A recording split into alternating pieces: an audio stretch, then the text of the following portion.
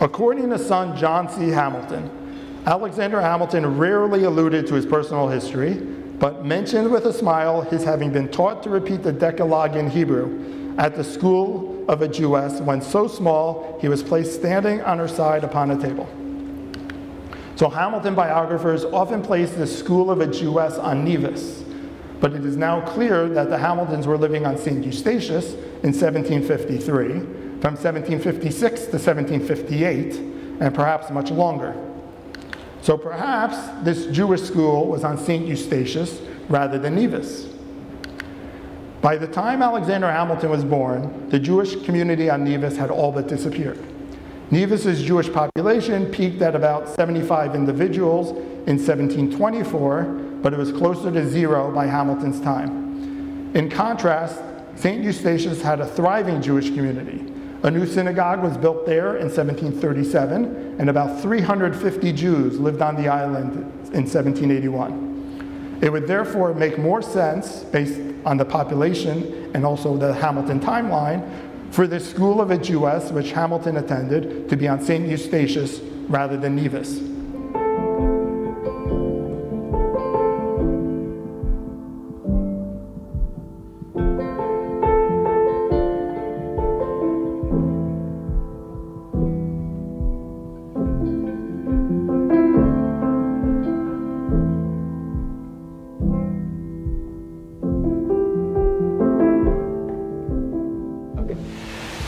Yeah, so here we have the walls of uh, the synagogue of St. Eustatius, or Statia as we uh, call it on the island. It was built in 1739 uh, because from the early 1700s the island started to become the trading hub of the, um, of the Americas. So more and more merchants came to the island. Also Jewish merchants from Curacao originally, another Dutch Caribbean island, came to Statia to trade and at some point there were enough Jewish men to get permission to build a synagogue, so they also had to ask permission from the government. And they got the permission, and they built this building here. Um, now the condition for building the synagogue was that it was not visible from the public road, so as not to offend the eyes of the Christians. So in fact, it's standing on this little alley, which is named after it, Synagogue Path, is the, the back of the synagogue, because the front is on that side and the street that it's on is actually a, a, a, whole length of a lot further in that direction so that it was hidden. You can see that it is no longer a complete building because when the economy of Statia ended, that was around 1795, the, the, there was no trade anymore, so uh, the Jews left. A lot of them left for uh, St. Uh, Thomas, also St. Croix, um, the east coast of the States, Suriname, which was then a Dutch territory, and Curacao also, where their ancestors came from. You can still see here in the inside of the synagogue the holes for the beams that held the galleries because in uh, Orthodox uh, Jewish services the men and the women have to sit separately so the men sat uh, on the ground floor and the ladies sat on the upstairs galleries. And there you see, um, you see that these are windows, but that's a door. And there's a brick spiral staircase that leads up to this door. I mentioned uh, the bricks. As you can see, this is a two floor, uh, two floor building built entirely from yellow bricks. They were imported from the Netherlands.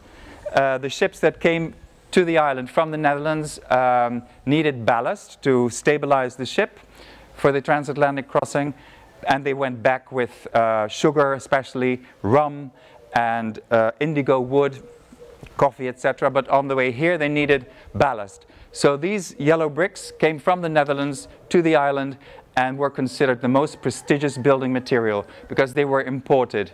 And uh, the fact that this is a large building made completely from imported yellow bricks is an indication of how wealthy and how flourishing the Jewish community on St. Eustatius was at the time.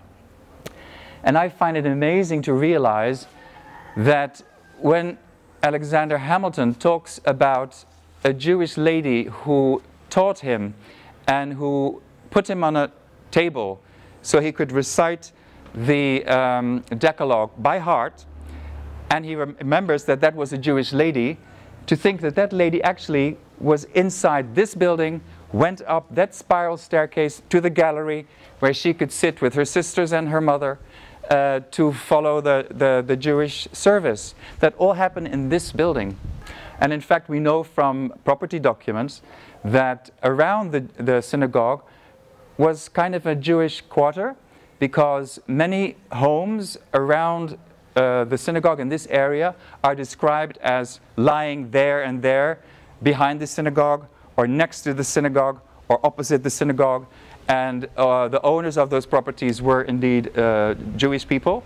So um, it's very well possible that, uh, because in those days you also had private teachers, so uh, it's very well possible that, um, that Alexander had his teachings from this lady in one of the buildings that were standing here around the, uh, the synagogue. But it's, it's, it's certain that when he lived here, he walked on this path. Yeah, and this is something very, very special. Uh, the fact that, that it was found again and uh, located and uh, uncovered. It's the mikvah. Every synagogue had a mikvah, and it's the ritual bath.